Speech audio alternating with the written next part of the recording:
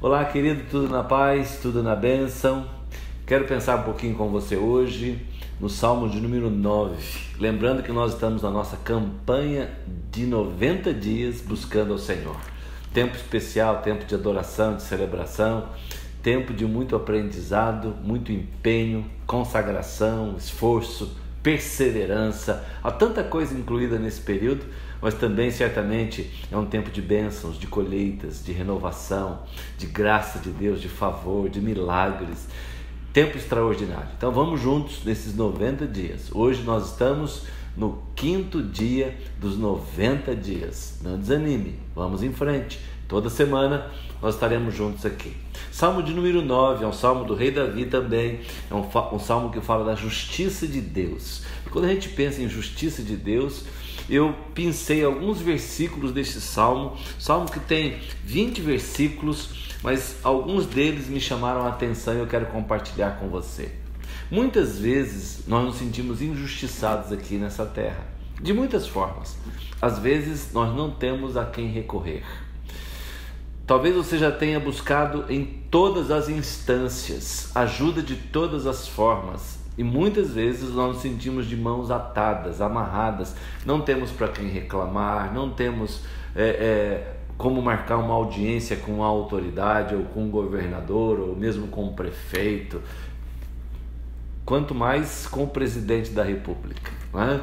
Então, este salmo nos ensina aqui que o nosso Deus, o nosso Senhor, Ele está sempre à nossa disposição, no sentido de todas as vezes que nós buscarmos o Senhor, nós o acharemos. Outra coisa extraordinária que Davi coloca aqui para a gente é que o Senhor nosso Deus ele julga sempre com retidão. Ele nunca é, é, injusto no que ele faz. Ele sempre julga com retidão. O verso 7, o verso 8 diz exatamente isso, que ele mesmo julga o mundo com justiça.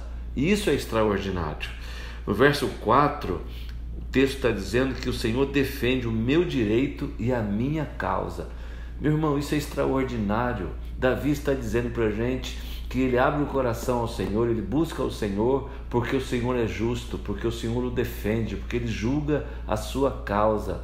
Todas as vezes que nós nos sentimos desamparados, todas as vezes que o nosso coração fica indignado com as coisas deste mundo e com as coisas que acontecem conosco, que ao nosso redor, nós devemos buscar o Senhor, nós devemos colocar tudo aos pés do Senhor e pedir que Ele nos julgue, porque Ele julga com justiça. Os homens, muitas vezes, agem de forma completamente errada com a gente, nos julgando mal, mas Deus sempre nos julgará com justiça. E o verso 10, Davi diz assim: Em ti, pois, confiam os que te conhecem, porque o Senhor não desampara os que te buscam. É extraordinário.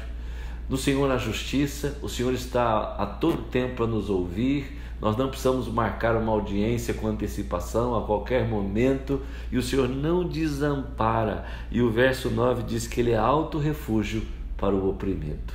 Portanto, eu não sei como você está vivendo hoje, eu não sei quais são as suas lutas, mas eu posso te dizer e te garantir pela palavra do Senhor Todo-Poderoso, que se você realmente o buscar, que você, se você realmente se empenhar em buscar o Senhor e se entregar a Ele, Ele vai julgar a sua causa com justiça, Ele vai te defender, Ele não vai te desamparar, Ele vai te socorrer, Ele vai te ajudar.